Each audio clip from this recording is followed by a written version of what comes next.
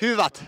Mä, tota, mä kuuntelin tänään about kymmenen kertaa ton se biisi se kumme hu hu hu. Se tota, mikä se nimi, huuhkaja biisi. Pidetään hauskaa ja otetaan kolme pistettä jokaiselta. Kyllä mä veikkaan, että, että tota, tuommoisella omalla tekemisellä niin kaikki muut on aikamoisia pisteautomaatteja. Mitä sarjaa tällä hetkellä? Sohvaperunat. Pelaatko sängyn? Ää, en. Karaoke bravuri. Tässäkö tää oli?